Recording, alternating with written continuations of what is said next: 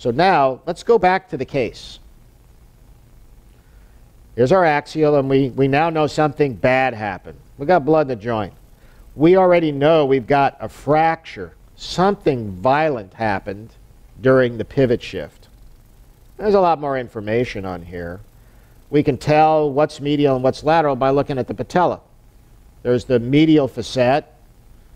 The cartilage is a little bit fatter. It's usually a little shorter than the lateral facet.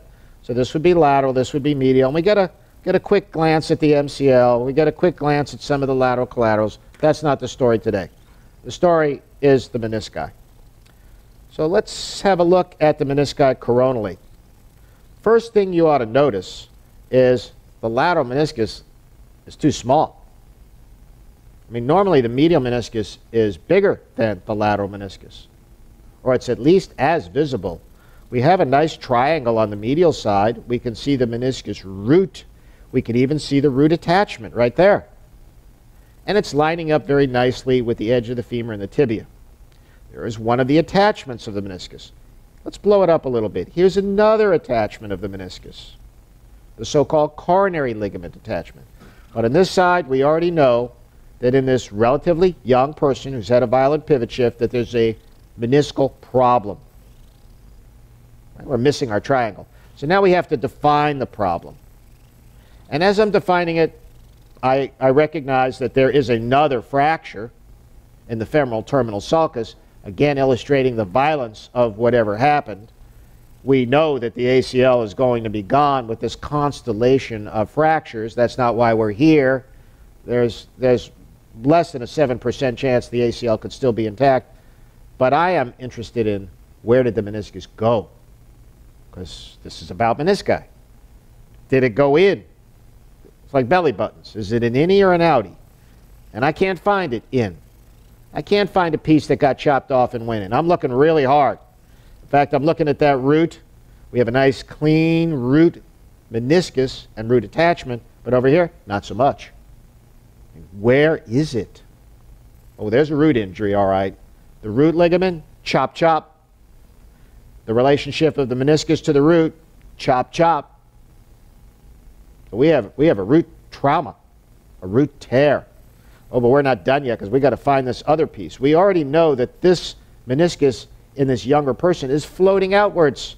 It's not lining up very nicely with the edge of the tibia and the femur because it's no longer properly anchored. So, in a sense, this meniscus is separated from the anchors that keep it in the proper place. And you got to remember, this person is lying on their back. They're not even weight bearing. There are no hoop stresses. So imagine what happens to this poor little triangulated piece of cartilage when you stand up. It's like toothpaste. Boom, it goes out even further. Let's take a look at the anterior horn. Here's the anterior horn body junction. There's the anterior horn. There is the root attachment that includes a tether to the transverse meniscal ligament of Winslow and a tether to this little round structure here called the ligamentum mucosum. Don't worry about that. Let's go backwards now. We're missing the body. Keep going backwards. And our posterior horn is way too small. So let's look at the sagittal. And here's our sagittal. Let's work our way in from the body. Here's the body of the meniscus, all the way out to the periphery. And the back of the body should be tethered to the popliteus tendon. Let's look at it. What do we mean by tethered?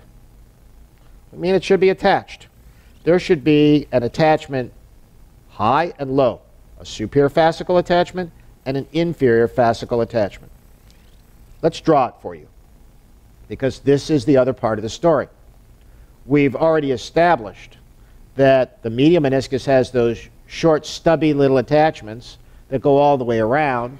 You can see them a little better in the mid-coronal plane as the meniscofemoral ligament. I'll draw them. For the medial side, we're going to have a meniscofemoral ligament and I showed you the coronary ligament earlier. In the back, they're really short, so we don't see them. But now I'm going to get a little bit thicker here, not too thick, and I'm going to show you what the lateral meniscus, attach, uh, lateral meniscus attachments look like. You don't see those as well coronally, but you see them really well sagittally. So here's the lateral meniscus, and it has an upper fascicle and a lower fascicle. And those fascicles are very important tethers. If you lose one, the meniscus can actually twist on itself. And that can be a cause of locking, just one of these gone. If they're both gone, then the meniscus can start to displace or float. So we should have an upper one. We do, although it looks a little lax right there. And we should have a lower one that goes straight on back and perforates through the popliteus tendon. We don't. I'm going to erase it so you can see it a little better. And I'm going to blow it up so you can see it a little better. Let's blow it up.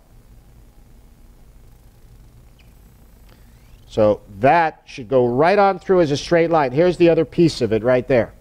It's missing in action. It's still missing in action. In fact, they're both missing in action.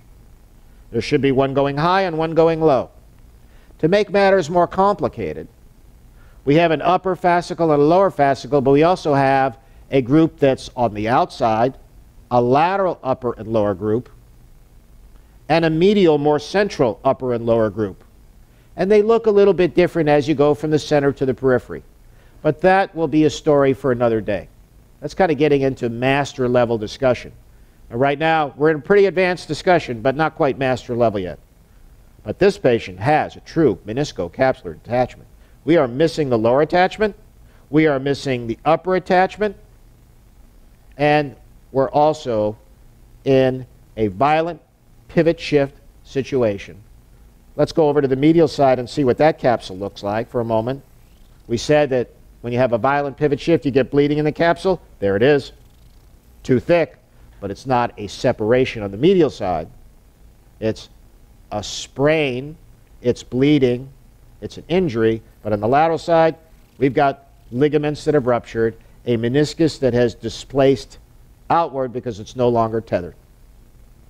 And just to be complete, here is the awful consequences of this pivot shift. The ACL is gone, the PCL is swollen. Here is our blood fluid level. The tibia is displaced anteriorly relative to the femur, both laterally and medially, as a sign of ACL deficiency, so called passive anterior tibial translation. So, in summary, you've learned about two very important types of vertically oriented tears. One not so bad, the vertical longitudinal. One that could be bad, the radial tear. You've learned how to measure length and depth of these tears. And you've also learned, to a degree, we're not complete yet, the meniscocapsular attachments and what can happen to them, and the sequela when you have a big time rupture, the meniscus being displaced and floating out of the joint and no longer providing the proper support. Thank you.